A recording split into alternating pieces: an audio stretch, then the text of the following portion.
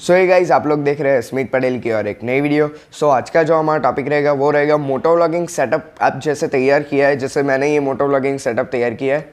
मोटो vlogging setup तैयार करना easy है बट मेन जो उसमें वो है मतलब कि जो थोड़ा जुगाड़ हमें करना पड़ता है वो है माइक का सेटअप कि best mic for moto vlogging setup आज का हमारा टॉपिक रहेगा. टाइटल और थंबनेल से तो आपको पता चल गया होगा. और मोटो व्लॉगिंग करने के लिए आ, हमारी टोटल तीन वीडियो आ चुकी है। एक जो मैंने हेलमेट परचेस किया था, उसकी अनबॉक्सिंग की थी। हेलमेट रिवील किया था उस वीडियो में। और हेलमेट अभी तक मैं आपको बताऊँ तो बेस्ट हेलमेट है। मुझे ये प्राइस पॉइंट पे 1500 से 1800 तक की रेंज में मुझे ये जो हेलमेट है, वो बेस्ट लगा। सेकेंड वीडियो में हमने अनबॉक्सिंग किया था।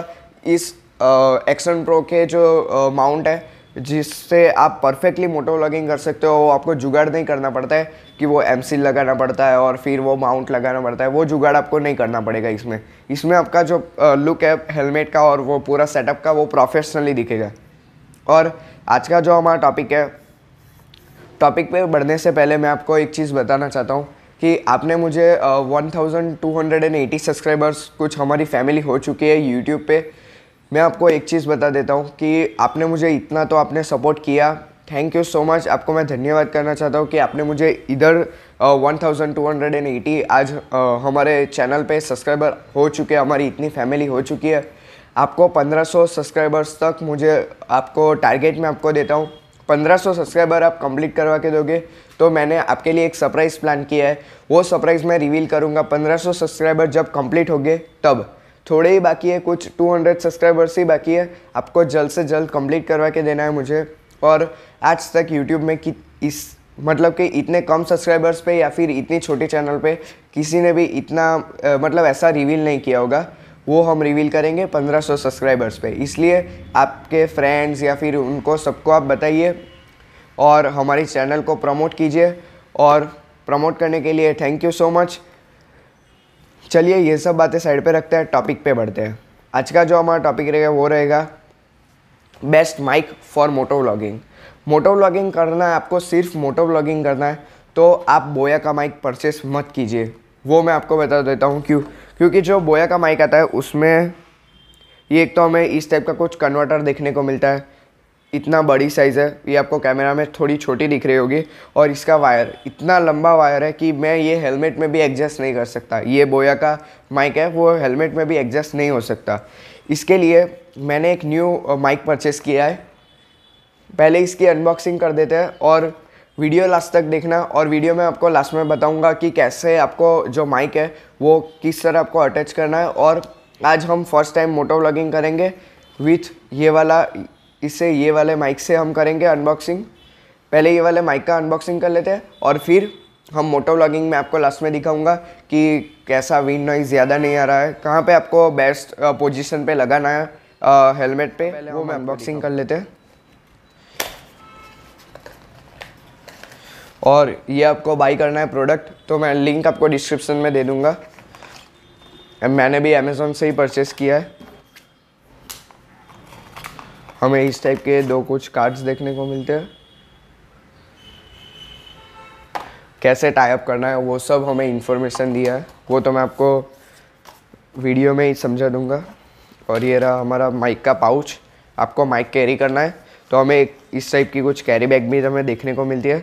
और ये रहा हमारा माइक ये माइक मेरा लेने का एक ही पॉइंट ऑफ़ व्यू से मैंने ये माइक परचेज़ किया है, वो है उसका वायर वायर बहुत छोटा है इसके लिए ही मैंने ये माइक परचेज़ किया और बोया का माइक में वायर तो बहुत लंबा देखने को मिलता है और साथ साथ में वो कन्वर्टर भी आता है, इसलिए बहुत मोटा सेटअप हो जाता है, इसलिए इसमें फिटिंग भी नहीं आ रही थी इसके कारण।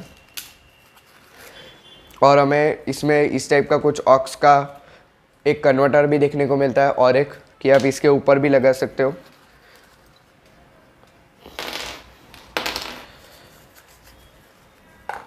और इस टाइप के हमें दो लॉक्स देखने को मिलते हैं कि आपको टी शर्ट पे या फिर कहीं पे भी आपको ये टाइप करना है तो आप टाइप इससे कर सकते हो।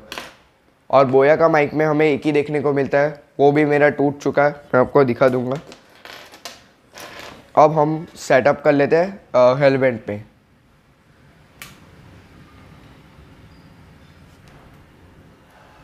क्वालिटी वगैरह बढ़िया है। इसके लिए मैंने ये वाला माइक परचेस किया। और आपको ये माइक जैसे आप परचेस कर रहे हो, या फिर कोई भी माइक आप परचेस कर रहे हो, और आपको लगा देना है, एक ही टाइम परमानेंटली वाला ही फिक्सिंग आपको कर देना है, कि जब भी आपको जब भी आपको राइड पे जाना है, तब ये आपका जो माइक का जो सेटअप है, वो परफेक्टली वर्क करे।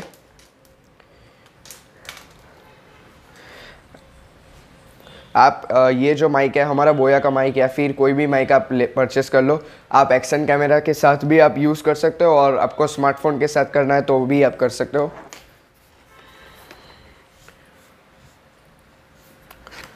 और ये एक चीज़ ध्यान में रखनी है कि आप जो हेलमेट परचेस कर रहे हो, उसमें जो ये पैडिंग्स है, वो रिमूव होनी चाहिए। कि ये पैडिंग्स है, वो निकलनी चाहिए और फिर आपको माइक पूरा आपको वायर सभी जगह पे अटैच लगा देना है टेपिंग से या फिर किसी से भी। और फिर ये ऑक्स का और मैं आपको वो प्रोसेस भी दिखा देता हूँ। ये जो हमारी पैडिंग्स है वो रिमूव होनी चाहिए तो आप इजीली आप और परफेक्टली आप इधर माउंट भी कर सकते हो आपका माइक परफेक्टली मतलब अटैच हो जाएगा। ये पैडिंग रिमूव होनी चाहिए।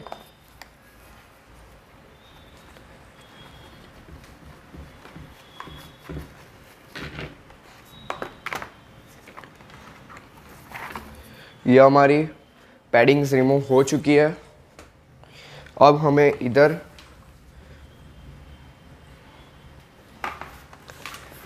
अब हमें इधर माइक का जो ये वायर है वो नीचे की साइड ले लेना है और माइक हमें आ, कोई भी हमें कॉर्नर पे रखना है बीच में हमें नहीं लगाना है। माइक जो है वो ये एक आपको ये एक चीज़ ध्यान में रखनी है। इम्पोर्टेंट चीज़ आपको बता देता हूँ। कि आपको माइक बीच में नहीं लगाना है, मुँह के सामने। जब आप मुँह के सामने ये आपका माइक अटैच करोगे तो होगा क्या, जब आप राइड कर रहे होगे तो आप जब ब्रीदिंग ब्रीड आउट कर रहे हो तो उसकी जो आवाज़ है, आप जो आप स्मेलिंग कर रहे हो तो उसकी जो नॉइज़ है, वो आपको सुनने मिलेगी। और फिर आपका सेटअप थोड़ा जो आपने मोटो लगिंग की है, वो आपकी बेकार में वो जाएगी। इसलिए मैं आपको बता देता हूँ, जो माइक है आपको अटैच करना है, वो कॉर्नर पे करना है हेलमेट के। और जो हमारा ये ऑक्स वाला है, वो आपको थोड़ा बहुत वायर है ना, आपको बाहर रखना है कि आपको जहाँ पे भी अटैच करना है, वहाँ पे आप अटैच कर सकते हो। और नहीं यूज़ कर रहा तो फिर आपको इधर विटा देना है ओके अभी हम हमारी पैडिंग्स रिमूव हो चुकी है। सो so गाइस अभी आप देख सकते हो, हमारी जो पूरी माइक का जो सेटअप था, वो परफेक्टली जो डन है, वो डन हो चुका है। मैंने क्या किया है, जो ये थर्मोकॉल की जो पैटर्न है, ये आप देख सकते हो, दो स्ट्राइप है। वहाँ पे मैंने ये जो काउज है, वो सब मैंने, आप ये देख सकते हो पहले। वहाँ पे मैंने ये वायर का अटैच कर दिया, इसलिए क्या होगा, हमें, वहाँ पे ऐसे तो ये जो आने वाला है, हमारा ऊपर, ये जो पैडिंग्स है, हमारी वो आ जाएगी। इसके कारण हमें इतना ज़्यादा पता नहीं चलेगा, क्योंकि वायर है, वो वायर की जो साइज़ है, वो काफ़ी ज़्यादा छोटी है, इसलिए वो कवर अप हो चुका है प्रॉपरली आपको भी परमानेंटली आप मोटो लॉगिंग करना मतलब परमानेंटली आपको माइक अटैच करना ही है उसमें तो आप कुछ इस टाइप का आप कर दीजिए। फिर आपको जब भी आपको वो करना है, निकालना है माइक तो आप इजीली टेपिंग निकाल दो वायर इजीली निकल जाएगा। और इसमें आपको गन स्टिक वगैरह यूज़ नहीं करना है, वो मैं आपको बता देता हूँ। गन स्टिक यूज़ करोगे तो थर्मो थर्मोकॉल जो है, उसके ऊपर से निकलेगा नहीं। फिर थर्मोकॉल भी आपका वो हो जाएगा, टूट जाएगा, वैसा होगा। उससे बेस्ट है कि इस टाइप का कुछ आप सेटअप कर दो। और ये साइड पे से भी आप देख सकते हो। इधर भी दो पैडिंग्स आ जाएगी, मैं आपको दिखा देता हूँ। फिर ये फुल फुल जो है, वो कवर अप हो जाएगा। ये आप चेकआउट कर सकते हो। ये जो वायर है, और मैंने जो ऑक्स के लिए थोड़ा बहुत बाहर रखा हुआ है। कि मोबाइल के साथ अटैच करने के लिए, ये आपको दिखा भी देता हूँ। मोबाइल के साथ अटैच करने के लिए मैंने इतना जो है वो वायर बाहर रखा है। तो क्या होगा, जब मेरे को ये एडजस्ट करना है, जैसे ये ऊपर नीचे होगा तो वायर जो मोबाइल है वो ऊपर नीचे होगा, इसलिए ऑक्स का थोड़ा बहुत मैंने लंबा वायर रखा है। और फिर नहीं यूज़ हो तो आपको इधर ऐसे लगा देना है वापस। और अब मैं आपको दिखा देता हूँ कम्प्लीटली ये पैडिंग लगा कर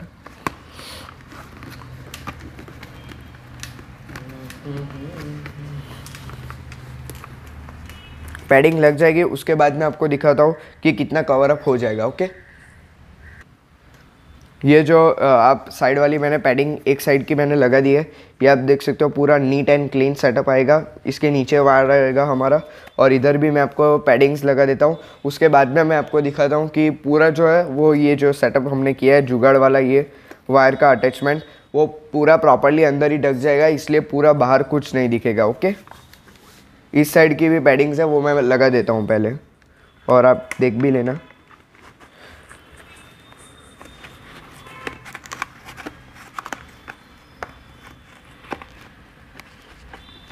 राइट और लेफ़्ट दोनों ही साइड की पैडिंग लग चुकी है।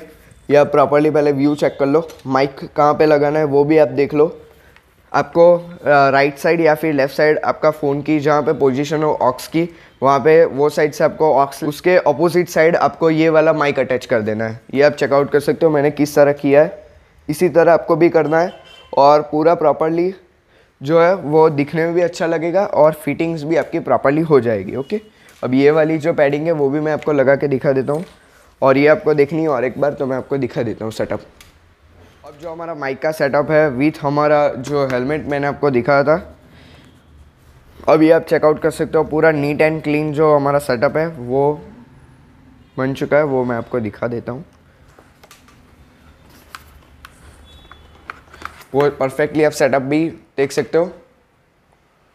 कहीं पे भी ज़्यादा वायर का और माइक का बहुत कम मैंने क्या किया है? राइट साइड पे मैंने वो माइक है, वो अटैच किया और लेफ़्ट साइड में ऑक्स का।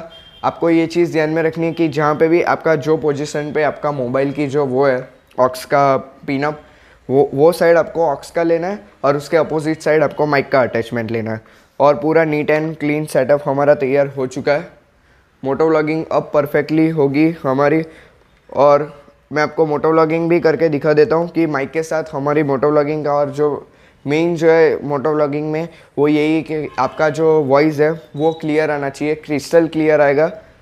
मैं आपको मोटो व्लॉगिंग में भी आपको दिखा दूँगा। फिर कुछ होगा तो हम टेपिंग ही हमने की है, इसलिए वो टेपिंग निकाल के फिर वापस हम अटैच कर देंगे ओके चलिए, अब मोटो व्लॉगिंग सेटअप पे ही हम डायरेक्टली आपको मिलते हैं बाइक के ऊपर।